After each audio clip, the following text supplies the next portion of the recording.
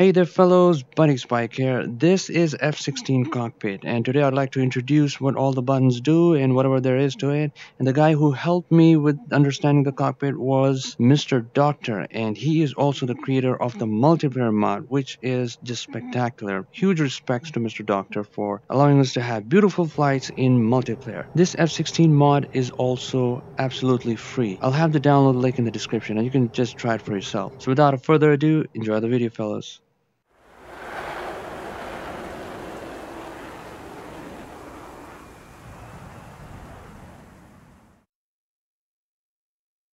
So um, this is Mr. Doctor Surgeon. I'm with Buddy Spike, and we're gonna go over the F16 cockpit tutorial. Uh, when you start the in F16, your seat position might be a bit funny. As you can see, the default seat position here is way too high. So to actually start uh, the plane and be able to change the seat position, you need to turn on the battery. The battery is on the electrical panel here on the left-hand side. It's a switch here.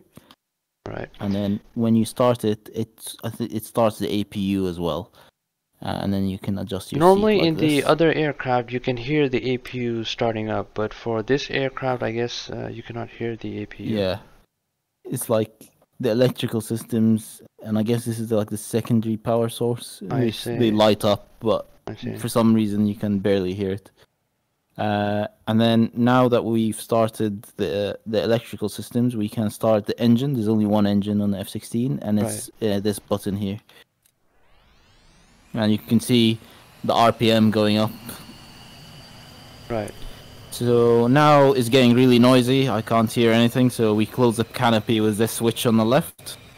Don't forget to close your canopy before you take off, because the canopy will get ripped off Oh, uh, wow. at high velocities. Does Uh, does a person like feel the wind or something? you you just hear a lot a loud noise, like the wind is really loud. Okay. So now that the engine's fully ramped up, uh, we're all set to go. So uh, we'll start on the left here. So here you've got your Uh, navigation there's light. a switch about um, laser or something something. Oh, yeah. earlier. So you're right. So if if if you want to know which switches are active and which switches are just decorations, you use this switch here, the laser arm switch, and it puts a red sphere. Can you have the everything that is laser arm switch on before the battery is on? Because let's say Yep. if you want to find that find where the battery is, you can just Yep. turn on laser first and then turn on the battery. Correct. It will help you find the switch. So starting here, you've got your navigation lights and strobe lights.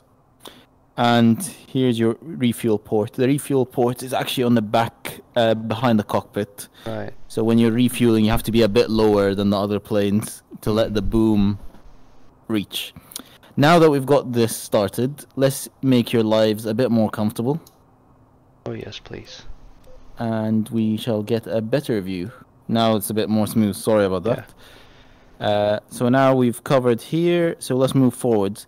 This is a COM switch, so you can uh, have voice recognition commands that are built into VTOL. Right. And this panel here, you're able to change the frequencies. Uh, I don't think this panel is implemented yet for multiplayer, but the button panel here can change your frequencies in multiplayer as well. Right. This is the engine switch. So this switch here activates your head-mounted cueing system. So uh, let's say we have the HUD on. This is the HUD. We can't see the HUD over here. So to see that, you put your visor down, and then you activate the switch. Right. So you need to have the visor down and the switch turned on. Yeah. And this allows you to not only see this data, but you can then uh, reliably use the uh, head-mounted cueing system for like IR missiles. Right. Uh, so up here we've got your RWR mute button and your chaff and flare selectors, so you can disable one or the other. Uh, this is the parking brake, and the landing lights are actually functional. They're not labeled here, but they're useful for uh, landing at night. We can't see the effect during daytime very clearly. Uh, this big stick here is the gear, and you can actually have gear lights, so you know if your gear is up or down. Uh, so the jettison button works through the MFD screen, so you can't really jettison immediately. You have to go to the um, MFD screen for your equipment, and then choose mode jettison, and then select what you want to dump. So I'm gonna dump my air-to-air missiles, and they've just Nice. fallen off. Uh, as you can see, there's no flaps here. Uh, the F-16 has auto flaps. Yeah, it seems uh, modern jets have started to, Yeah. you know, have. uh, Yeah, I mean it's based on angle of attack. I guess if if it's got high angle of attack, it engages the flaps. Right. Uh, I guess it reduces pilot workload, reduces the chance of errors. Here you've got a load of sort of analog instruments. So that's your AOA indicator, vertical speed, altitude, and speed. And this actually acts as an instrument landing system as well if you contact the airport. So we'll we'll cover that once we're flying. Uh, here you've got a mini panel that can be your RWR. You can't switch it to anything else and you've got two attitude indicators. And there's a green screen on the top right. Oh yeah, so uh, that green screen is called the data entry div- display, and you switch it on with one of the big knobs on the right here, and that shows you the frequency. Uh, in multiplayer, you can change it with this panel by pressing clear Right. and then typing the numbers in. Uh, in single player, you do this, but it's not really functional. Then you've got vertical speed indicator. You've got real time, not in-game time, but actual real time. That so you know Ah. how much you've been wasting your life playing VTOL. That's convenient. um, and then you've got more light switches here. So this is the brightness for your MFDs, and this is the instrument light. This looks really cool, especially Yeah, at night. Yeah, yeah.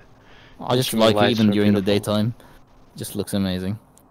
Uh, this is the RPM nozzle position stuff, so you can see how strong your engines are working. Mm. And this is kind of cool. So you've got two indicators for your fuel. The white one is internal fuel, and then the red one is your external fuel tanks. So when you have external fuel tanks, the red one will go down first, and then the white one. And you've got a mini compass here, just in case your MFD breaks. Right. Oh, uh, actually, you've got a mini clock, analog clock down here that Ah. works. And this also shows you the real time, like your. Yeah. Okay. Wow. Oh, it's pretty It's late. one over here. o'clock over here. Okay. Uh, this switch here is called sensor power, and it's basically the radar. Uh, so Right, right. switch on the radar, and you can see it switching. The F-16 is pretty cool because it's got the longest range radar in VTOL, nice. as you can see there. Uh, this is the altitude mode, so ASL versus radar altitude. Kind of useful if you're flying close to the ground, so you don't Mm. hit stuff. We've turned on the data display, we've turned on the instrument lights and the console brightness. This one is called flood lamp, and it's basically a cockpit light, Yeah. uh, so you can find stuff in the dark. in case you drop a pretty, pencil. That's pretty much it. So let's get in the air. Uh, the takeoff procedure is basically very easy. Uh, basically, parking brake off, and you just taxi onto the runway. Should we should we should we employ proper etiquette and tell ATC? Copy. Taxi to runway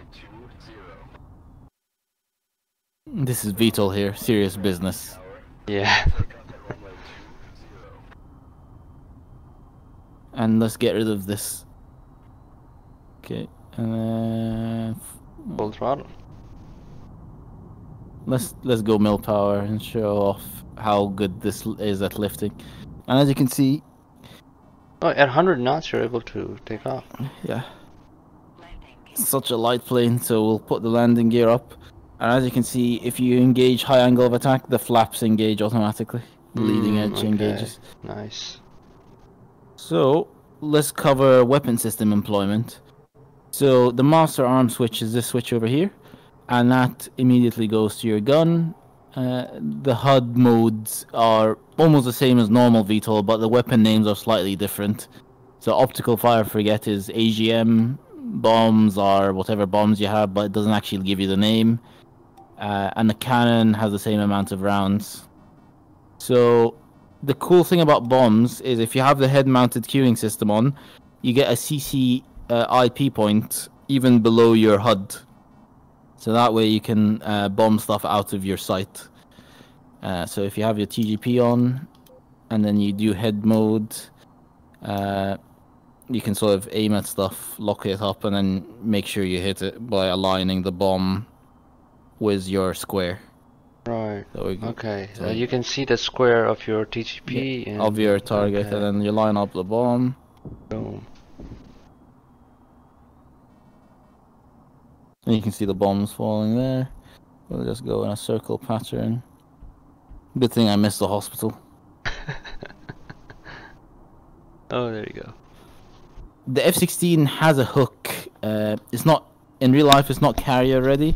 It's just a hook for emergencies. But in this game, you can land it on the carrier if you want. But they are hooked for emergencies. Uh, yeah. So if on some runways have cables at the end, so Ah, if you yes, if you run out of runway, you can uh, you can hook yourself. So it does not have drag chute, but it has hook. Yeah. Let's uh, contact tower and uh, show off the instrument landing system. Let's. Oh yeah, uh, there's autopilot as well, so I'm gonna switch that on. So you've got Ah, roll okay. hold and pitch hold, but Mm. there's no altitude or speed autopilot. So we're gonna do ATC. If you if you have pitch hold, that'll be same as uh, altitude hold anyway. I guess yeah. But I guess if your velocity is low and you're you're losing altitude, it probably won't be able to compensate. Yes, yes. So we've got the instrument landing system activated. Right, it's Uh, gonna as help you you, know, align to the runway. okay. Yeah, so as you know, you line up your plane 90 degrees to the course line, and then once you reach it, you turn into it. That way, that's what you call nice ILS approach, correct? Correct. Instrument landing system. So as you can see, I'm trying to line up with the course line. I'm not even looking at the runway. And then I'm gonna decrease altitude to get the atti- uh, altitude line lined up with the yellow. About a hundred knots. Oh, that's meter per second. Ah, okay. Yeah. I thought it was knots. So this gives you the perfect sort of glide slope. Oh, I'm too low now. And you've got an AOA indicator on the left here. Yeah.